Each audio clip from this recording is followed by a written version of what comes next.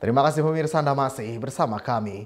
Lembaga Pemasyarakatan kelas 2B Selong melakukan tes urin terhadap pegawai yang ada di lapas. Kegiatan ini sebagai bentuk komitmen lapas Selong untuk bersih dari penggunaan dan peredaran narkotika.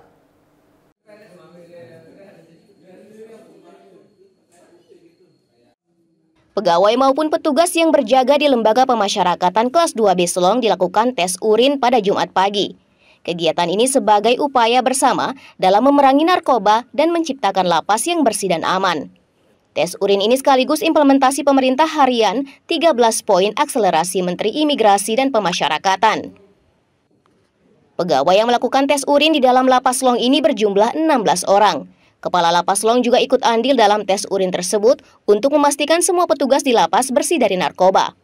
Masing-masing pegawai yang ada di Lapas Long secara bergantian dilakukan tes urin.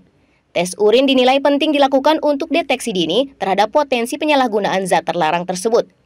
Kegiatan tes urin ini akan rutin dilakukan pihak lapas untuk memastikan semua pegawai tidak terindikasi menggunakan barang narkoba.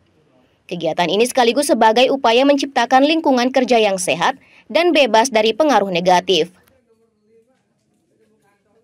Pada hari ini, Jumat, bertepatan pada hari Jumat bersih dan Jumat barokah yang ada di lapas ini sekarang uh, mengadakan tes urin oleh uh, ditujukan kepada para pejabat dan pegawai yang di lapas Long ini untuk uh, mendukung 100 hari kinerja dari Kementerian Imigrasi dan Pemasyarakatan yang uh, mencanangkan lapas bersih dari narkoba.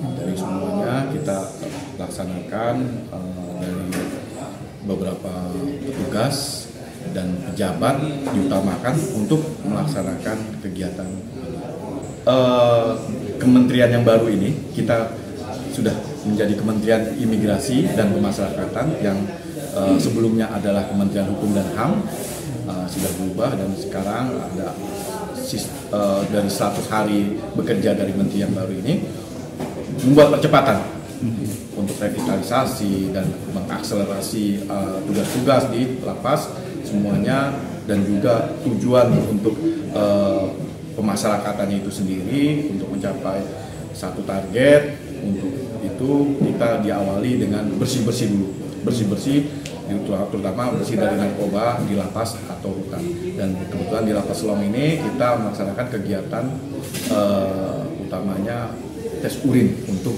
para petugas dan pejabat. Kepala Lapas Selong juga mengajak masyarakat untuk bersama-sama menekan peredaran narkoba di wilayah masing-masing. Penggunaan narkoba diakuinya memiliki dampak buruk terhadap kondisi kesehatan tubuh dan perekonomian. Zulfikri Arfan, Selaparang TV, melaporkan.